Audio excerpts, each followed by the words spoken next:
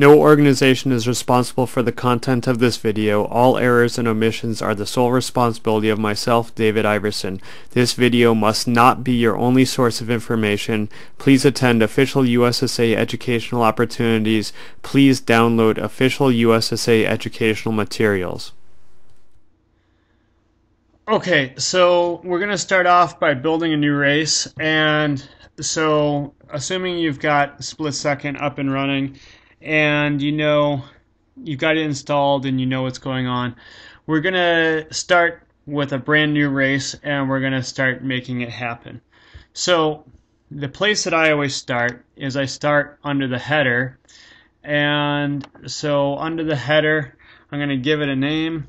And so the name of my race is Test Race for YouTube Videos. And uh, so you know what the name of your race is. You can figure that out. And then all of my videos are going to be all about Alpine. Uh, I'll leave it up to somebody else to do snowboard, cross country, or Masters Alpine. And what are we going to be running? Let's run a good old generic giant slalom. So our race is a giant slalom. We're going to do a scored race. So it is going to be a USSA race and it is going to be scored. And the race date is going to be 7 14 2011. Uh, and number in the top seed. Now, this is where things get a little bit tricky. Well, I'm going to scramble at the beginning. I'm going to scramble 15. So to start off with, there's going to be 15, the top 15 kids are going to be scrambled in the race. But then for the second run, we're going to flip 30.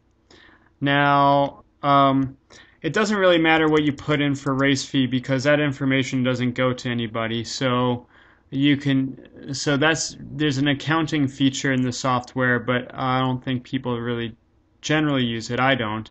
So I'm not going to, so you can put race fee in or not, it doesn't show up anywhere on the official paperwork. USSA code, well, we're doing a USSA race, so it's going to be U9123 is going to be our race code for the men. Um, and then US pen, USSA penalty to apply, well, we're going to have to come back to that in another video. Okay. Now, my course name, we're going to be running on Warren's Way. And now I'm going to just pause and we're going to go and we're going to find the start elevation, the finish elevation, and the homologation number from other information that I've got. Okay, so right now we're looking at a file that I made up when I went out and I walked the hill with my GPS and I took some data on various points on my hill.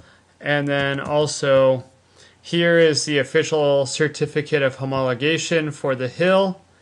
And so uh, they say that the start is is 869 meters and when I measured it with my GPS I got 870 meters, and that seems completely reasonable. So we're going to say that the start was 870 meters, and then I've got the finish as 522, and they have the finish as 515.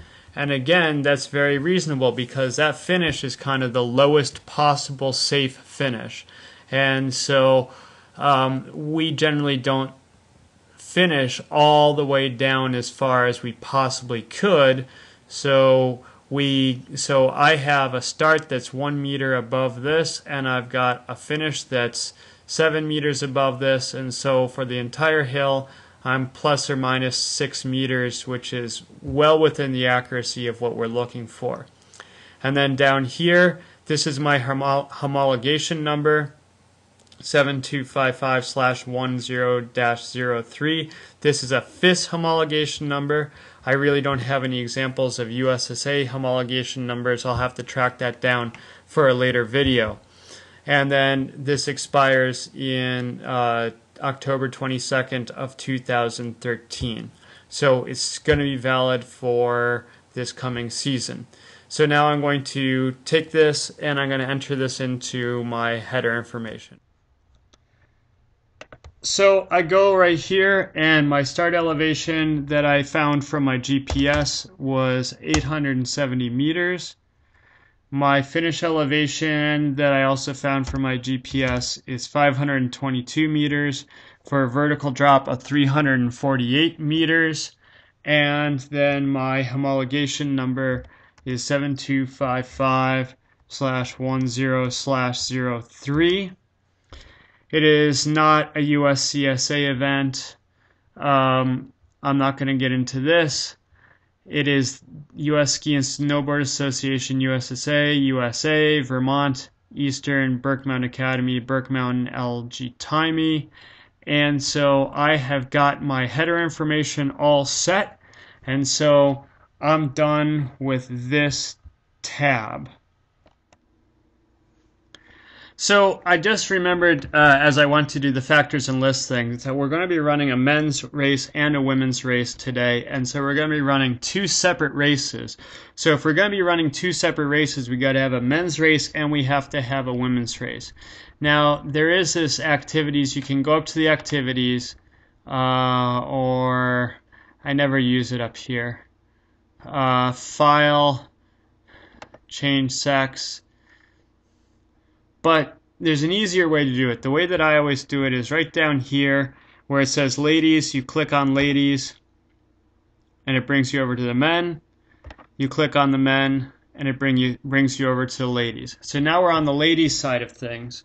And so we have to add in this whole same thing. So we have um, test race for YouTube videos.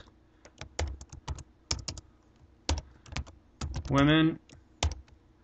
And again it's going to be alpine we're going to do a giant slalom.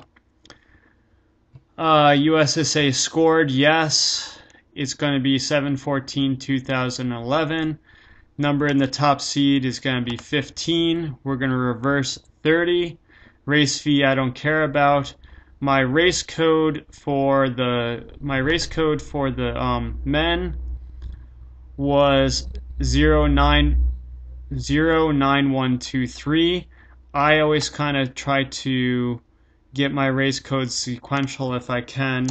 Uh, so I'm going to hopefully have a race code of U9122 for the ladies, but that might not happen. And I'm going to have to do another video on setting up, um, on getting your race codes, finding your race codes, and all that stuff. And once again, my course is Warren's Way.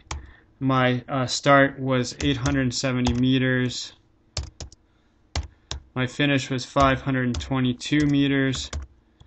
And I can never ever remember those homologation numbers, so I always have to look them up. 7255 1003. The only thing that I remember about the homologation number is the 03 because that tells me that it expires in 13, which means that in a couple years I need to rehomologate. And I've got this all set up, and so now we have the men's race set up and the women's race set up, except for to avoid confusion, I'm going to want to type men's on this side so that we can sort of tell them apart more clearly.